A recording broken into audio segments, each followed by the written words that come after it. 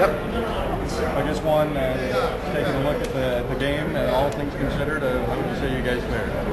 Uh, we didn't do as uh, well as uh, we wanted to do, but I mean, we learned some things that you know we need to work on in the next uh, round. And we're excited we're going to the next round. So I mean, this game wasn't really, it was just a test for the guys that haven't really played in the U.S. and USA team. This is just a challenge for us to try to come out, go hard, and try to get a win, but it didn't come out.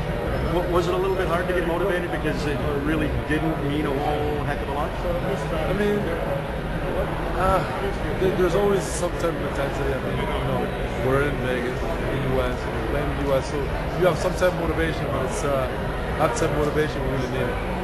So do you guys feel that you uh, got to grow as a team and uh, will be better into the next round because of it?